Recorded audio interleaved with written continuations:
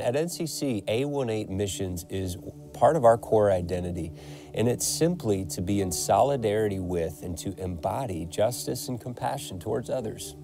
We're going to listen well, we're going to be humble, we're going to seek justice, we're going to love mercy. And so I just want to share some good news, some ways in which compassion is being embodied through our community in our local neighborhoods and around the world. In local side, Jonathan Tate, he's an NCCer. He started an organization a while back called Food on the Stove, and they are providing meals as we speak uh, for firefighters as they continue to do their work in our cities. Our Homes Not Borders, they're providing basic needs for 18 newly resettled refugees, providing laptops, families that are struggling and we are trying to be present with them. In Guatemala, Emily Gomez, an NCCer that's part of Champions in Action, one of our partners, they have shifted from their soccer camps that they're not able to do to providing food bags, basic needs. Over 1,500 people, uh, uh, meals are provided every month. 35% of families, that is their only source of food. And 80% of these families have experienced job loss. And so uh, we want to continue to show compassion towards our family in Guatemala, as well as DR Congo. Over 100,000 families have been impacted by tremendous flooding. And our partner, uh, Pastor Jeremiah and Congo Center for Christ, providing 275 meals a day for families. And NCC continues to invest in that. As we go into this time, just want to pray the Lord's Prayer over us. Our Father who art in heaven hallowed be thy name. Thy kingdom come, thy will be done on earth as it is in heaven. Give us this day our daily bread. Forgive us our trespasses as we forgive those who trespass against us. Lead us not into temptation, but deliver us from evil. For yours is the kingdom and the power and the glory forever and ever. Amen. Peace be with you.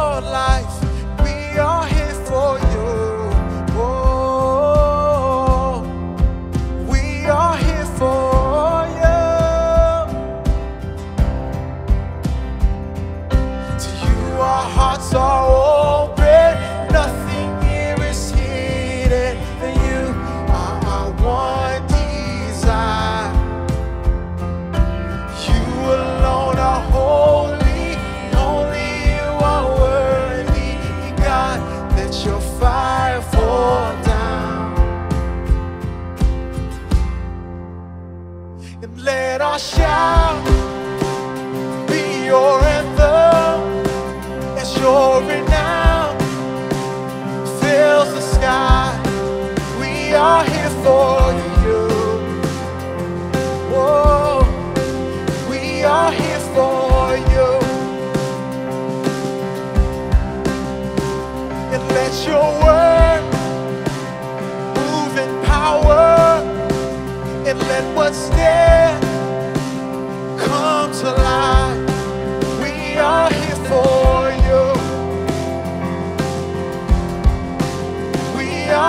are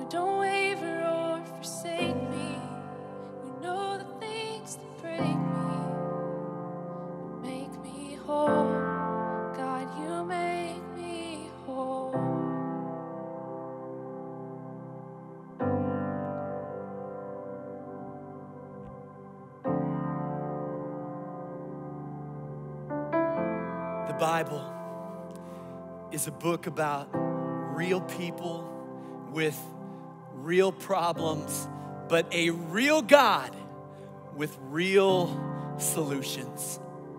The Apostle Paul talked about his thorn in the flesh. Anybody have a thorn in the flesh? It's the place where you feel the greatest shame. It's the place where you feel the greatest weakness. It's the place where you experience your greatest brokenness. I want you to know today the Apostle Paul begged three times, take it from me. But what did God say? He said, My grace is sufficient for you. I believe that today. His grace is sufficient. I want to pray for you right now. God, I pray that your grace would invade the reality of our lives right now and reach the places where we experience hurt. Lord, the memories that haunt us, the mistakes that we've made. Lord, the- pain that's been inflicted on us, the injustice that we've experienced. I pray your grace, a grace that is you, as unique as our fingerprint, to right now, by the Holy Spirit, minister to everybody within the hearing of this voice. Holy Spirit, come. Make your presence known. Your healing power, God, and your deliverance. You're the one who can make us whole again. And so, Lord, I pray an extra measure of grace. And I pray it in Jesus' name. If you believe that wherever you are right now, would you say amen? So be it. Amen. I want to say thank you for joining us at our online campus. Uh, many of us, of course, uh, from the DMV, DC, Maryland, Virginia area. But you know what? All across the country, all around the world, uh, we have folks who are part of our extended family, part of our online campus. And you know what? We'd love to know where you're from. And so if that's you, if you would hop on that chat at the online campus, we'd love to know where you're from. And I want to say a huge welcome, whatever time zone you are in. Uh, it's a joy to be able to be together. We want to help you find faith with your fingerprint on it. We want to help you take your next step in your spiritual journey. And so, ncc.re slash connect. We want to serve you uh, however, whenever, wherever we can. I want to say thanks uh, for your faithfulness in giving, especially during these times of great uncertainty. Now, if you're a guest, no obligation to give, but uh, I want to say thanks to those of you who have so faithfully and so generously invested in what God is doing in and through National Community Church at the outset. You're, you heard Pastor Dave share a little bit uh, about all that is happening around the world that we get to be shareholders in. And so, thank you. A couple of ways to give that you'll see right there on your screen. Well, it was 24 years ago that Laura and I started pastoring a core group of 19 people. Two of those people were Dick and Ruth Foth. Uh, he has been a spiritual father to me, uh, a spiritual grandfather to this church ever since. It is an absolute joy to welcome him, uh, to share the message from him, his home office in Fort Collins, Colorado. Would you just open your mind, your heart, your spirit to everything that God wants to do in you this weekend. May God give you a hunger, an insatiable hunger for His word that our weekend messages cannot satisfy. Ready or not, here we go.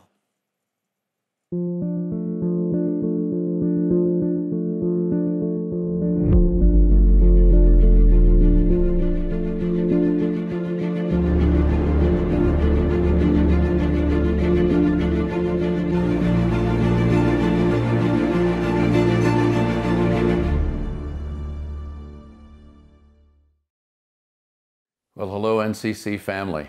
There you are. I can't see you, you can see me, but this is, it seems virtual, but it's real, okay? We are looking in this series Unshaken at the story of Daniel, and it's been articulated so well over these past weeks with the pastoral team. And when I look at it from where I sit, my vantage, this story and our times have really made me look at myself.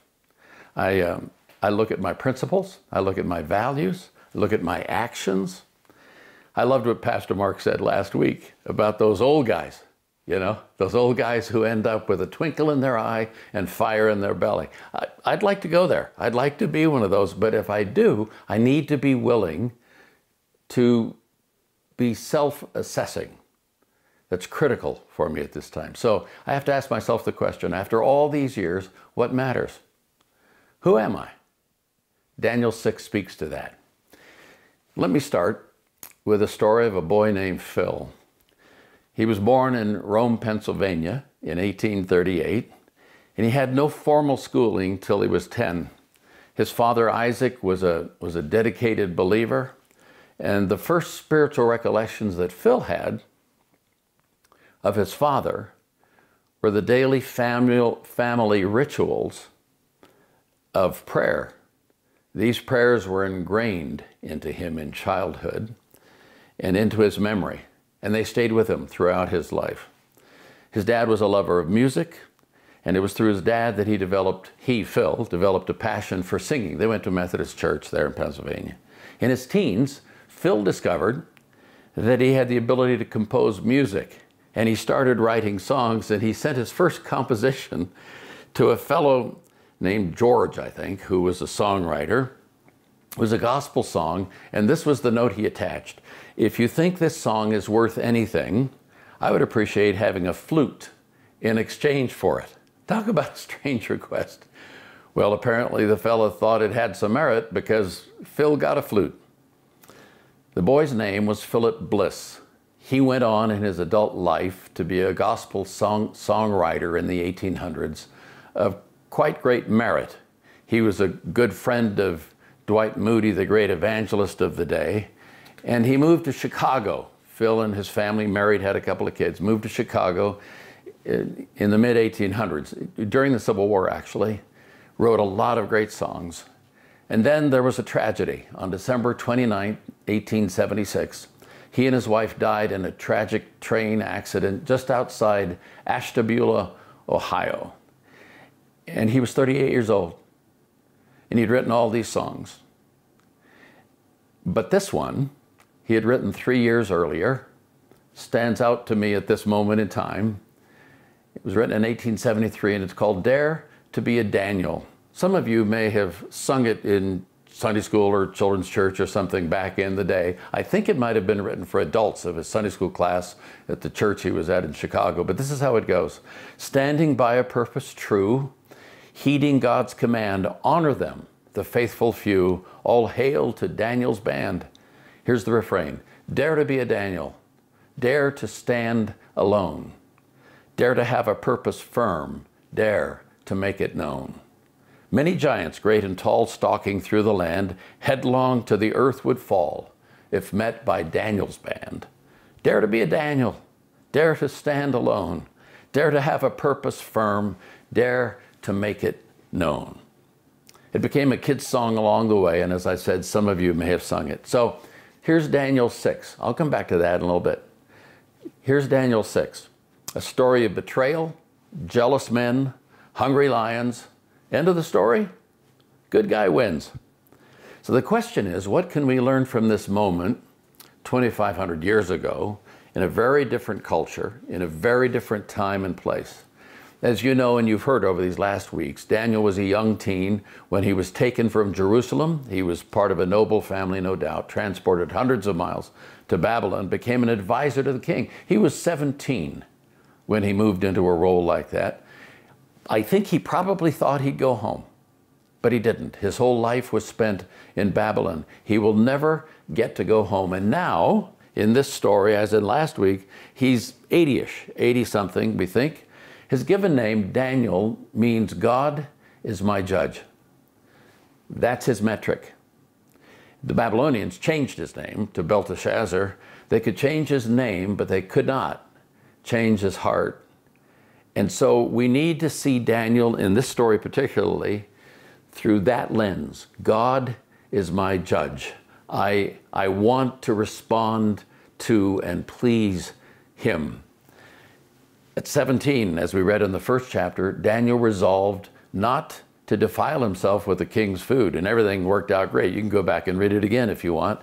And now it's more than 60 years later, and he's still resolved to worship and honor Yahweh.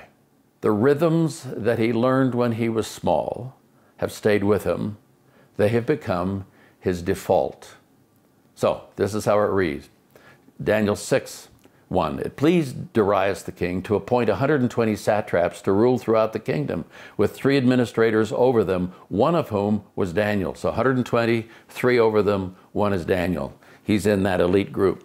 The satraps were made accountable to them so that the king might not suffer loss. They're there to take care of the king's kingdom and his stuff.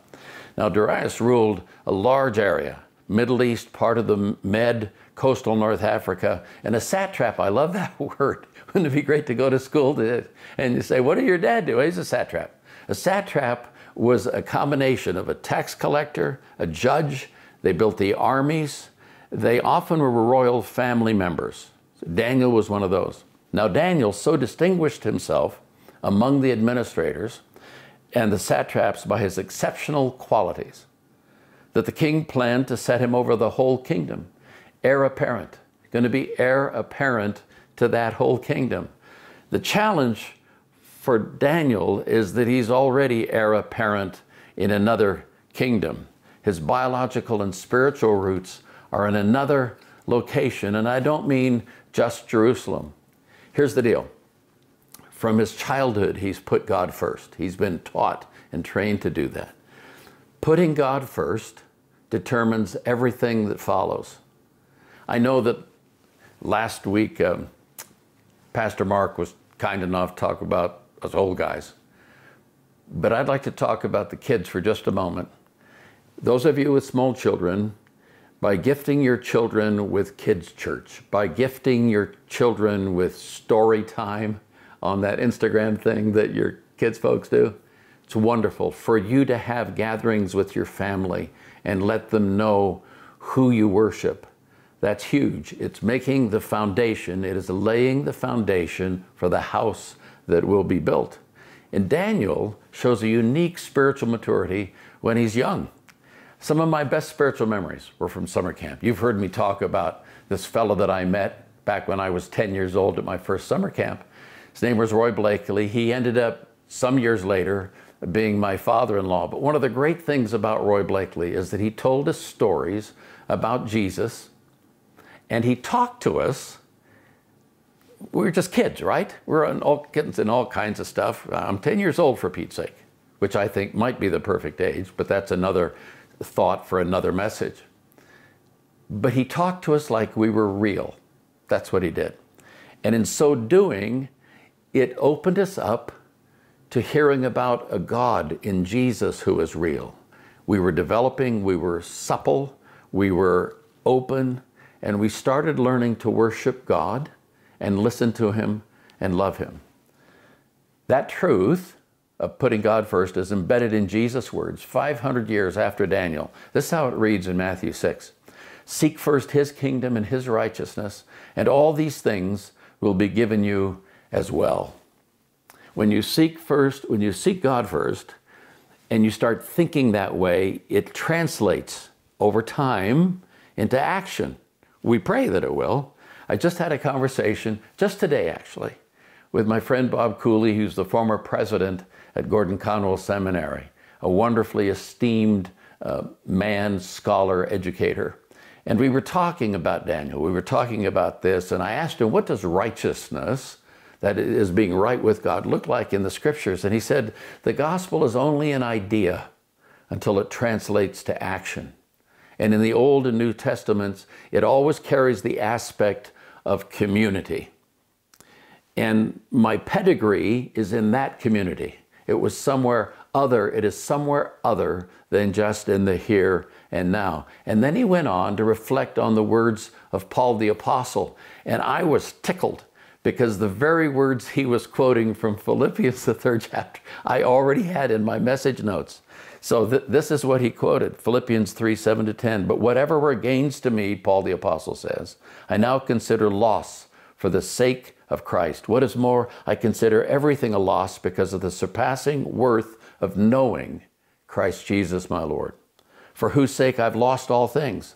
I consider them garbage that I may gain Christ and be found in him, not having a righteousness of my own that comes from the law, but that which is through faith in Christ, the righteousness that comes from God on the basis of faith. And he goes on to say, I want to know Christ, the power of his resurrection, participation in his sufferings, becoming like him in his death. And he went on to say, Dr. Cooley went on to say, we are citizens of a different place. And this really shows up when Daniel is about to take a hit. These are the next verses, Daniel 6. At, at this, because he was such a good leader, the administrators and the satraps tried to find grounds for charges against Daniel in his conduct of government affairs, but they were unable to do so.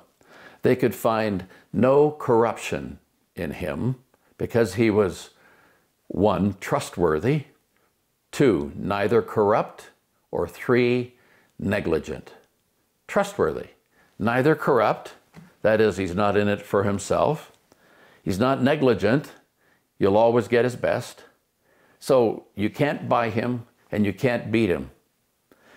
He, is, he has taken responsibility for caring for the king's business with integrity. As I reflect on that and I say, Who's my king and what's his business? How do I care for that? How can I be a trustworthy steward so that I can't be corrupted in that process and I always give it 110%?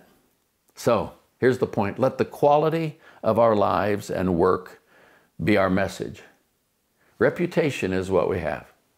You know, we talk about a body of work between players and coaches and musicians and writers and builders and teachers. Any craft, any profession, you hear that. Highest accolade you could get is somebody saying, Boy, I would love to work with or for that person.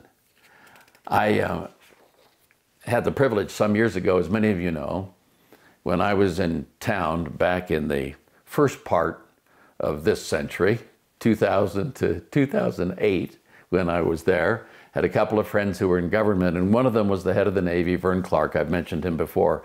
But I remember being queried by one of his aides, who was a Marine Corps major. And he asked me, What do you talk about when you go there? Because you go for lunch, and these guys live their lives in 15 minute increments. And I said, Well, we do those things that you find in the New Testament. We meet together, we talk about our lives. We maybe have some food. We, we talk about who is this Jesus person and we have a prayer. And this person looked at me and said, That is awesome. There is some sense in having finding a person who is trustworthy, not corruptible, not negligent, that is so attractive. So, Daniel, finally, these men, we will never find any basis, Daniel 6 5, for charges against this man Daniel unless, unless it has something to do with the law of his God. They knew if they could get to that piece, they'd have him. Can you see him? They're just gleeful. They're just so excited because they've got him. If they can go there, they'll get him. And they sort of start counting their chickens before they hatch, as we said back, back in the day. So, and I know I'm reading a lot of scripture, but th- this really is where the story is. So these administrators and satraps went as a group to the king and said, May King Darius live forever. The royal administrators, prefects, satraps, advisors, and governors have all agreed, well, all except Daniel, that the king should issue an edict and enforce the decree that anyone who prays to any god or human being during the next 30 days, except to you, your majesty, shall be thrown into the lion's den. Now, Your Majesty, issue the decree and put it in writing so that it cannot be altered in accordance with the law of the Medes and the Persians, which cannot be repealed. So, King Darius put the decree in writing. What, what's, the what's the Babylonian phrase for kiss up? What's the Babylonian phrase for pandering? This is clearly what it is. Well, what's interesting about this, when Daniel found out, he didn't react. He just did what he always did. Now, when Daniel learned that the decree had been published, he went home to his upstairs room where the windows opened toward Jerusalem. He's not going private, he's not going silent, and he kneels, prays toward Jerusalem. Three times a day he got down on his knees and praised, giving thanks to his God just as he had done before. It's interesting, it doesn't say, God, get me out of this, at least not according to this text. Then these men went as a group, found Daniel praying and asked, asking God for help. So they went to the king and spoke to him about his royal decree. And the story goes on in, and frames it as you would imagine it would. And in verse 13, it says, Daniel, who is one of the exiles from Judah, the king knows this, pays no attention to you, your majesty, or to the decree you put in writing. He still prays three times a day. When the king heard this, he was greatly distressed. He was determined to rescue Daniel, made every effort until sundown to save him. Then the men went as a group to King Darius, said, Remember, your majesty, according to the law, and so forth. So the king gave the order. They brought Daniel and threw him into the lion's den. The king's next few words speak volumes about his relationship with Daniel, I think. The king said to Daniel, May your God, whom you serve continually, rescue you. And there, courage shows up on Daniel's part. Daniel refused to compromise his practices.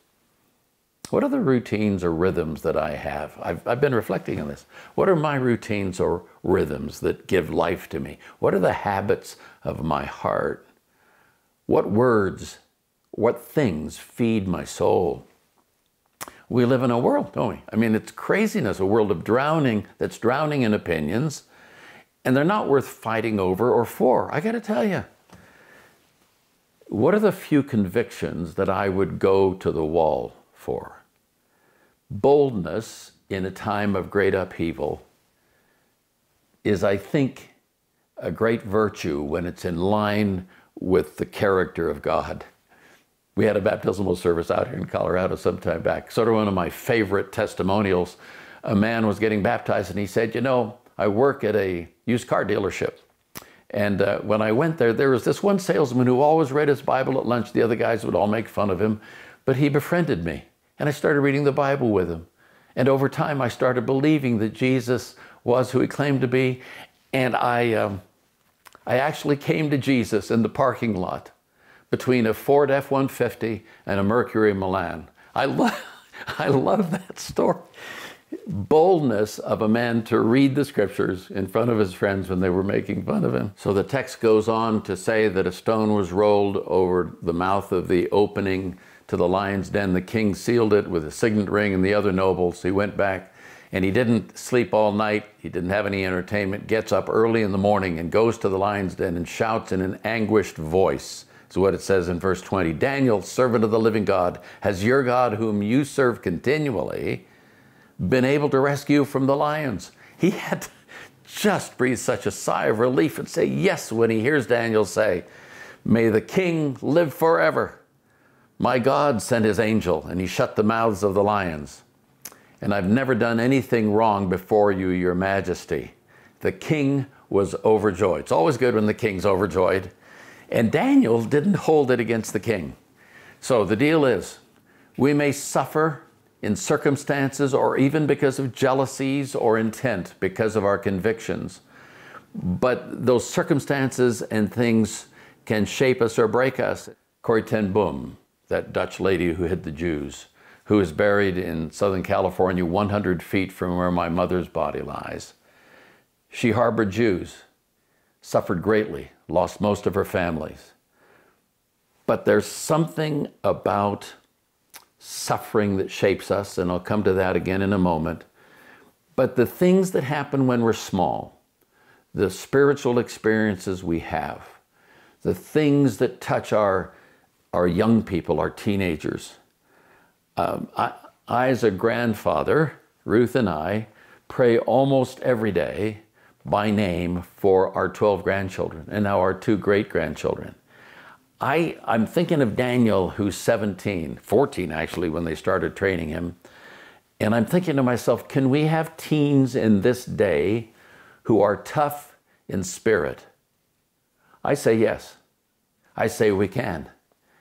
And because of their openness and because of our efforts, I believe that can happen. We come back to Admiral Stockdale's paradox that Pastor Mark talked about the first week, that, which is you must never confuse faith that you will prevail in the end, which you can never afford to lose, with the discipline to confront the most brutal facts of your current reality, whatever they might be.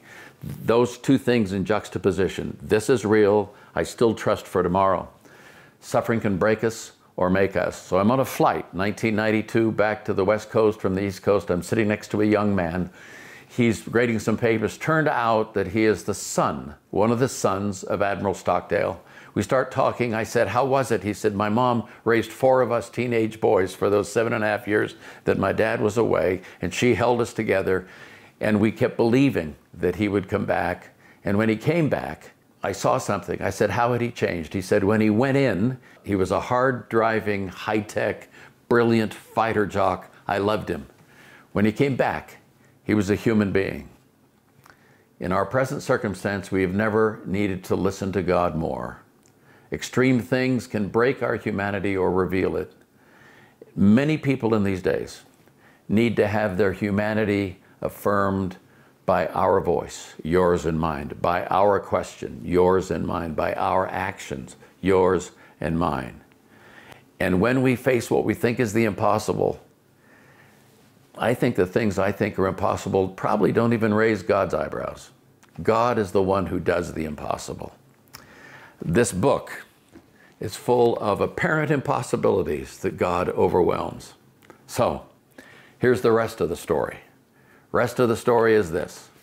At the king's command, the men who had falsely accused David were brought, and the short of it, the long and the short of it is, they were gone. Daniel found that his motivation and his refuge lay in one place, an audience with the Most High.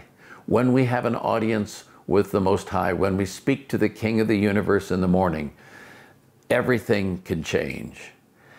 When we play for, as an athlete, we play for the coach, don't play for the crowd. My friend Sara Groves sang a song some years ago that I found to be tremendously helpful. She said, This journey is my own. And she has some lines in there that say, I play for an audience, I sing for an audience of one. I want us to take a Selah moment and just calm our spirits and listen to Sara Groves' song. It'll take a few minutes, but let's reflect and let it bathe us and let's think about it. Here it is. When I stand before the Lord, I'll be standing alone. This journey is my own. Still, I want man's advice, and I need man's approval. But this journey is my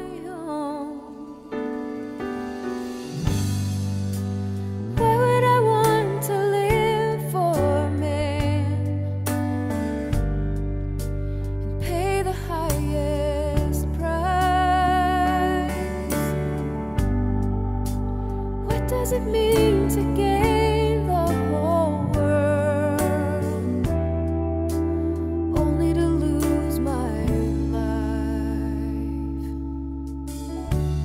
And so much of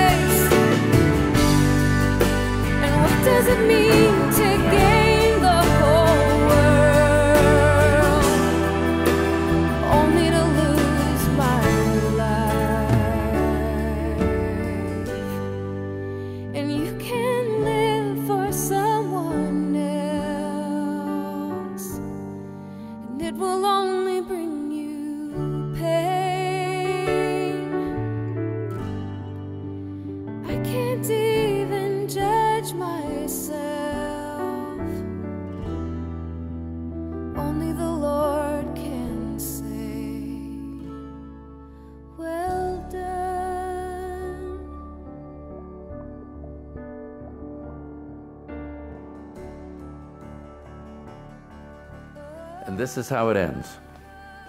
Then King Darius wrote to all the nations and peoples of every language in all the earth May you prosper greatly. I issue a decree that in every part of my kingdom people must fear and reverence the God of Daniel.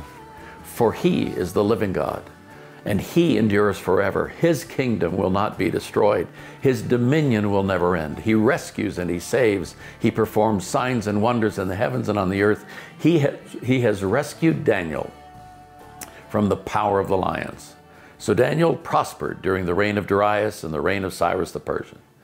If I'm a Daniel, I'll be trustworthy and you can count on me. I'll be capable. I'll find excellent ways to execute the mission. I'll be courageous. I'll have the heart of a lion.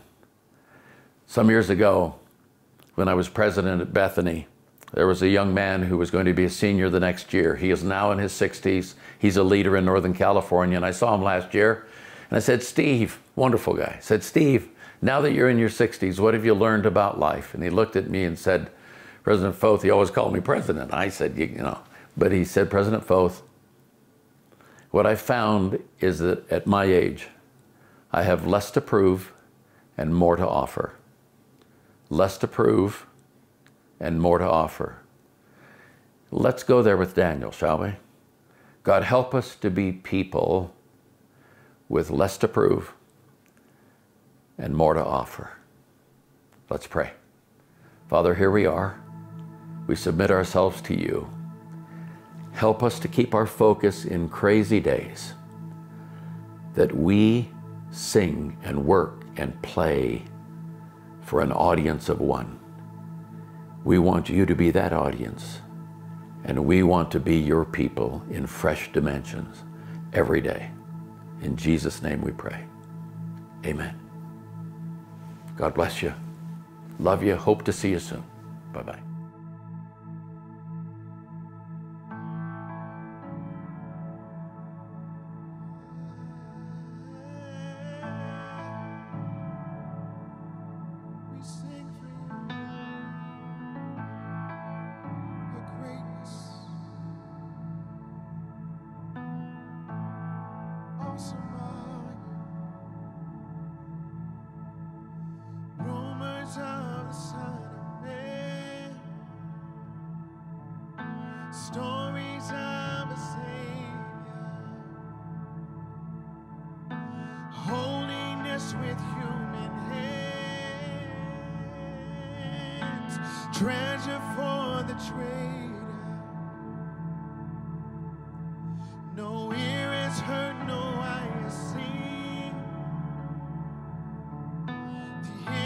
Image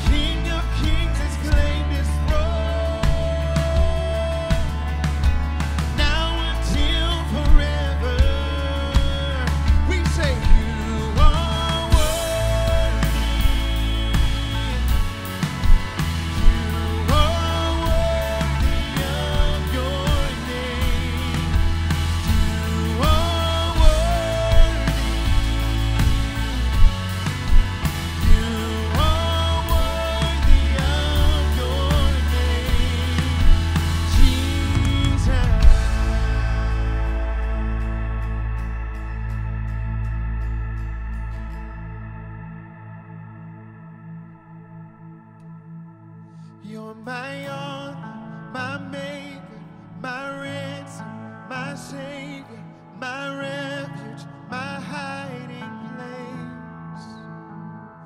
You're my helper, my healer, my blessed redeemer, my answer, my saving grace. And you're my hope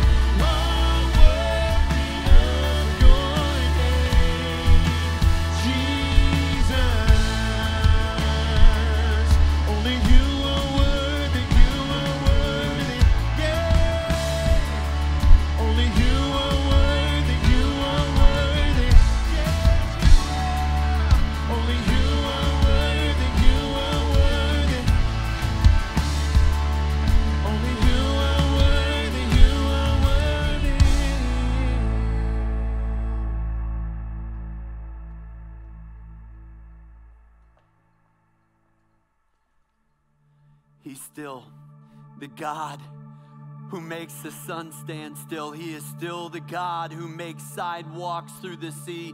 He is still the God who shuts the mouths of lions. Unshaken, It's refusing to compromise your convictions, even if it lands you in a fiery furnace, even if it lands you in a lion's den.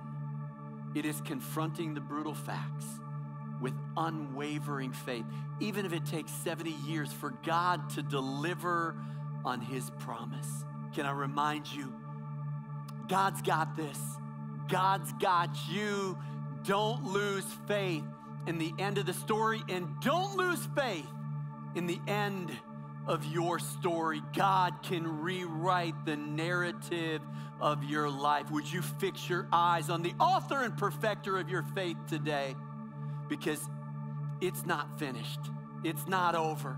There's a God who can redeem the pain and the difficult situations.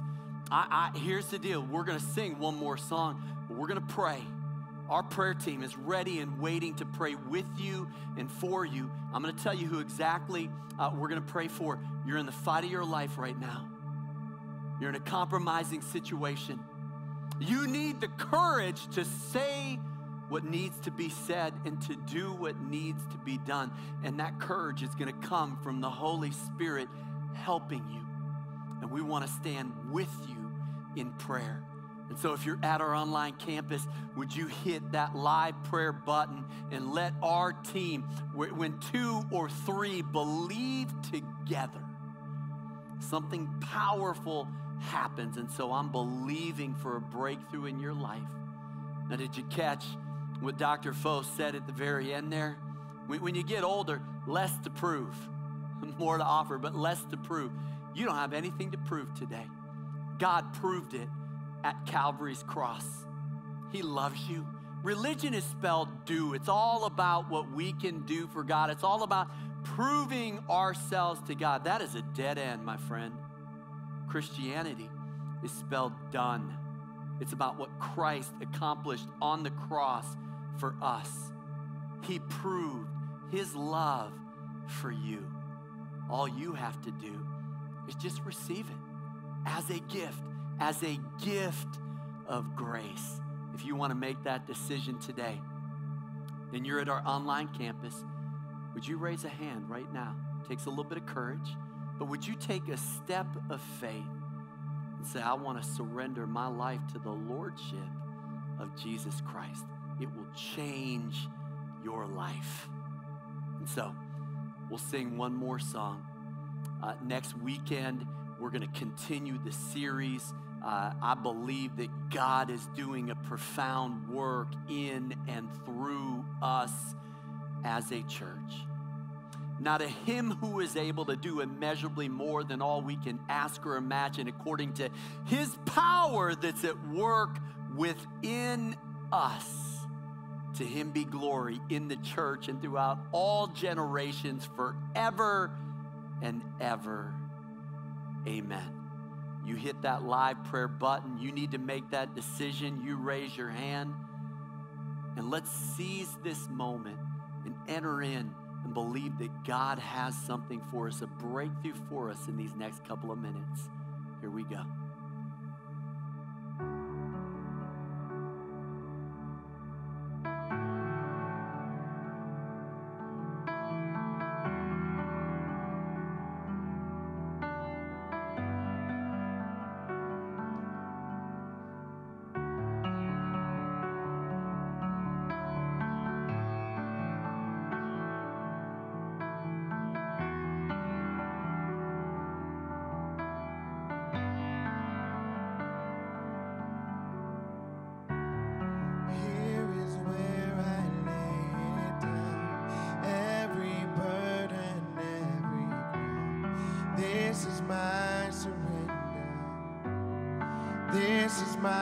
Surrender.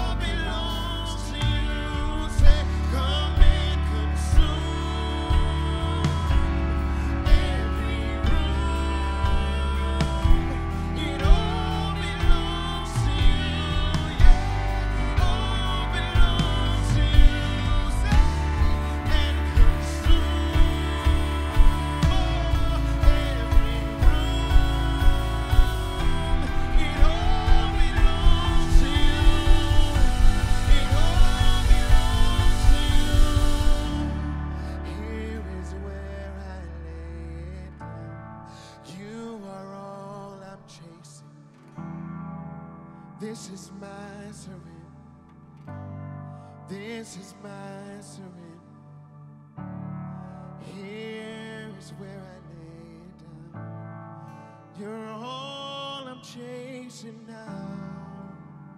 This is my surrender. This is my